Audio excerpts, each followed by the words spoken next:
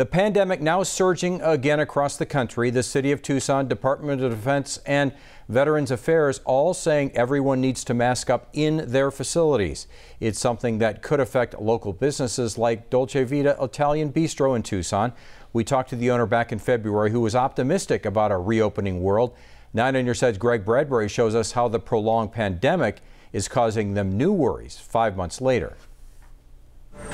Six months ago, Dolce Vita was looking forward to having customers back in person. Well, now they're back, but they're worried if they're going to be able to stay. Uh, we want them to stay here, not to come and then close them down again. No shutdowns are in place right now, but Harry and Irene Cataleros are worried customers will avoid restaurants as cases of the Delta variant spread across the country.